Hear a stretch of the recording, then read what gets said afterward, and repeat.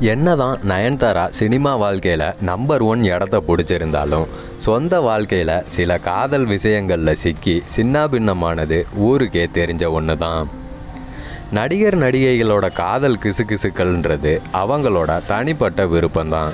அவங்க விருப்பப்பட்டால் யார் கூட வேணாலும் சேர்ந்து வாழலாம். இன்றைய தலைமுறையினருக்கு நயன்தாரா மட்டும்தான் கண்ணுக்கு தெரிகிறாங்க ஆனால் அன்றைய காலகட்டங்களில் பல நடிகர்கள் கூட தொடர்பில் இருந்த நடிகைகளும் உண்டு.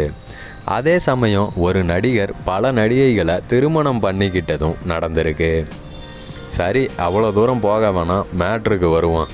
சமீபத்தில் ஓடிடி தளத்தில் புரட்சியை ஏற்படுத்துகிற விதமாக ரிலீஸ் ஆகி இலங்கை தமிழர்களோட பிரச்சனையை முன்னெடுத்து வரவேற்பு பெற்றிருக்க திரைப்படம் தான் மேதகு. விடுதலை புலிகள் தலைவர் பிரபாகரனோட வாழ்க்கை வரலாற்றை மையமாக வச்சு எடுக்கப்பட்ட மேதகு திரைப்படம் நல்ல விமர்சனங்களை பெற்று வருது. அந்த படத்தை கிட்டு அப்படிங்கிறவர் இயக்கியிருந்தார். இந்த நிலையில் அவர் தன்னோட ஃபேஸ்புக் தளத்தில் மகாபாரதத்தில் இடம்பெற்ற இன்று எது உன்னுடையதோ அது நாளை மற்றொருவருடையதாகும் அடுத்த நாள் வேறொருவருடையதாகும் அப்படின்னு நயன்தாராவோட காதலர்களான சிம்பு பிரபுதேவா விக்னேஷ் சிவன் மூணு பேரோட ஃபோட்டோவையும் வச்சு மீம் ஒன்றை பதிவிட்டிருக்காரு. இந்த செய்தி தான் கோலிவுட்டோட ஹாட் டாப்பிக்காக வளம் வந்துக்கிட்டு இருக்கு